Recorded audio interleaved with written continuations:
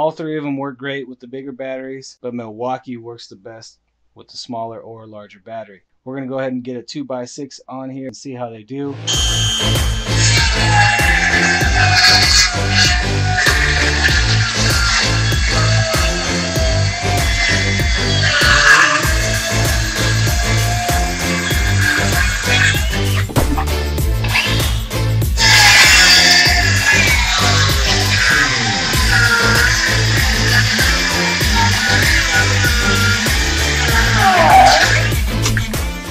We got the SKIL 12 volt with the 4 amp hour battery fully charged. SKIL is a 5.5 inch versus the other two are 5 and 3 eighths inch.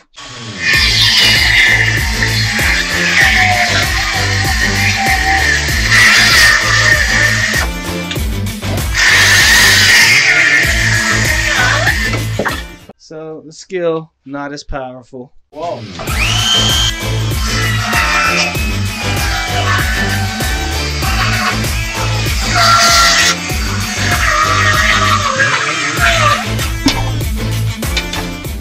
Not that big of a difference as far as how it felt. It did feel a little smoother, but it still felt like I had to put the same amount of pressure on the circular saw. And the resistance felt about the same as with the stock blade that it comes with.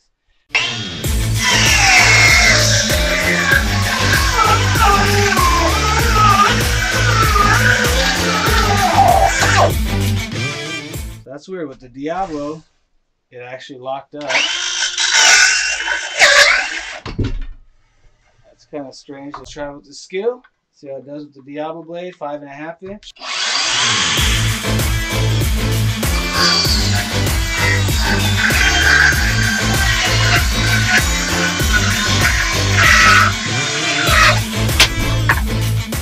So the SKIL seems to perform much better with the Diablo blade than the other two circular saws. We have the six and a half inch Makita circular saw, fully charged, six amp hour. It's 18 volt, but I want to show you all the difference. This is not much bigger in size, not much heavier either.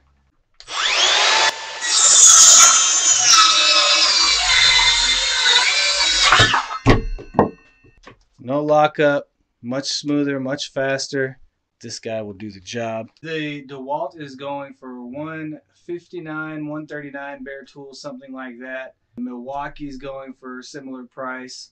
And the SKIL, you can get it for 99 bucks uh, as a kit with a 4 amp hour battery, $99. This is the best deal out there. The Milwaukee and the DeWalt were very similar. The Milwaukee had the most power, whether you were using the 2 amp hour battery or the 6 amp hour battery its own blade or the Diablo blade. DeWalt would be second place as far as performance and power, and the SKIL would be third. So pretty much what I expected, but I wanted to verify for myself. We'll continue to make more videos on tools, tech, DIYs, and deals. Until next time, I only hope all the best to you and yours.